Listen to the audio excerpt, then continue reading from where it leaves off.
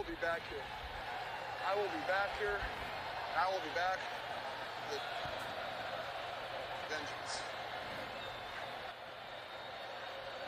You will not get the best of me, sir. To all you delusional 49ers fans and Travis Kelce haters, if you still think George Kittle is in the stratosphere of Travis Kelce, you are very, very delusional. Kittle claimed that he would be back with vengeance after taking the L in the first Super Bowl and finished this Super Bowl with two receptions for four yards.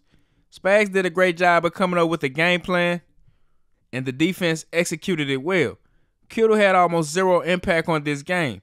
Travis Kelce, on the other hand, aka Killer Trav, had nine receptions for 93 yards.